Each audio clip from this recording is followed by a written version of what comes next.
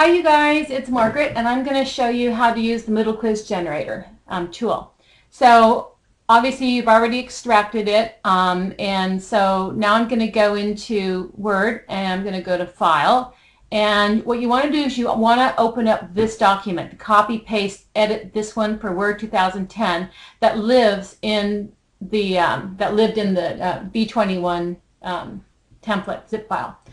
So I open that up and what that does is it gives you this toolbar up here and for me the first several times I used this this toolbar was in German and for whatever reason it's now in English which is cool. The only thing I use this toolbar for is to export to um, XML.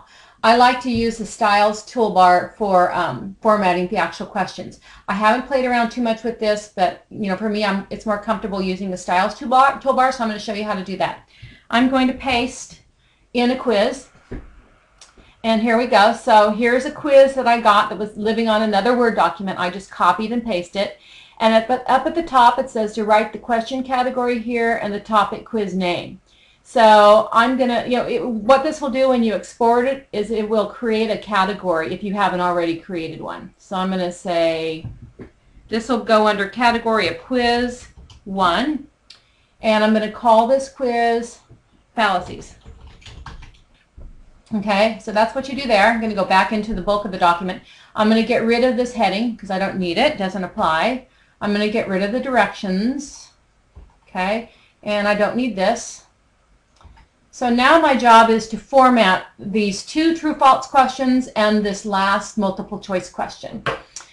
So I'm going to go to Home, and I'm going to go over here to where it says styles. I'm going to click on this little button below everything right there. That gives, gives me these styles. And you note that there's new styles in here. There's questions. Here's a matching question, matching fixed answer. Here's a multiple choice question that I'll use for question three. Um, if it's true false, you're going to select it and format it as a true statement if the answer is true. And if, if it's a false statement, you're going to format it as false. So I'm going to take the first one, which is a true statement, I don't need the word true in there because we don't want the answer in there. I'm going to select it and I'm going to say you are a true statement. Okay.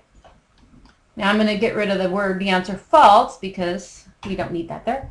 I'm going to go here and this we said was a false statement. So you'll see now that's red. This right here is a multiple choice question. So I'm going to say select it. I'm going to go, it's a question, which means I'm going to have to provide an answer and it's multiple choice. Okay. And I'm going to go here and say, oops, uh, true on Wednesdays and Saturdays. There is no wrong answer to this, so um, so I'm going to um, make all of them right answers. So let me, got to find where it says correct. There it is, correct answer. There's one correct answer.